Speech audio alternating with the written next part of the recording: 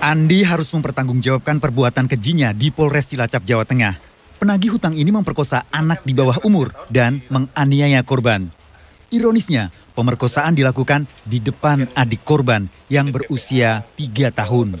Pemerkosaan dilakukan saat menagih hutang dan orang tua korban tidak berada di rumah.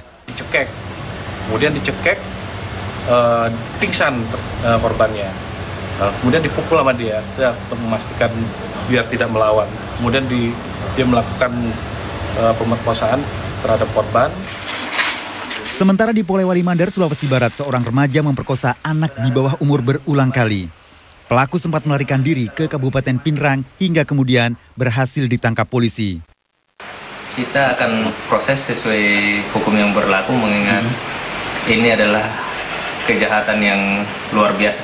Hmm. Ancaman hukumannya sendiri komandan itu? Ini di atas lima tahun. Di Minahasa, Sulawesi Utara, seorang anak di bawah umur diperkosa enam orang. Sebelum diperkosa, korban dicekoki minuman keras. Kapolsek Cicala mengamankan beberapa pemuda yang diduga terlibat dalam dugaan perkosaan ini. Tindak kekerasan seksual terutama terhadap anak makin marak, bahkan tidak jarang pelaku berbuat sadis. Hukuman mati akan menjadi salah satu ancaman bagi pelaku jika perpu kekerasan seksual segera diberlakukan. Tim Liputan Kontributor MNC Media melaporkan.